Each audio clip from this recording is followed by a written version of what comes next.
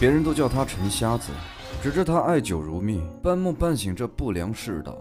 京城的花魁是他唯一的朋友，也只有他知道，这所谓的陈瞎子，正是昔日的战神陈乙。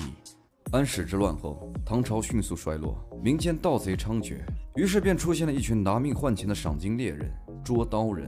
陈瞎子便是其中的一员。除了金子，他行走乱世，内心更尊崇的是一个义字。这日，他押着犯人准备回京领赏，路过一个小院时，飘香的美酒使他走不动了。他想买上二两酒，却遭到女子拒绝。原来今天是女人大喜之日，他正要用这美酒招待前来贺喜的人，可奈何这陈瞎子不善言辞。我给你磕个头怎么样？但倪烨还是将他尊为座上宾，见证自己大喜的日子。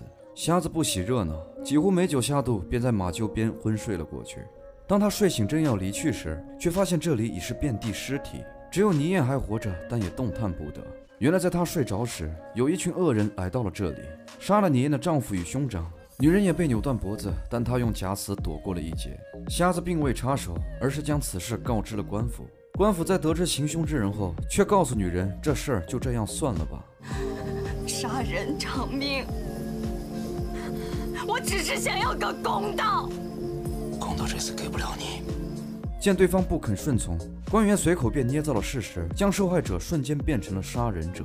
因为真凶正是洛阳城有名的权贵宇文家族。正当他们准备押走这位可怜的女子时，瞎子拦住了他们。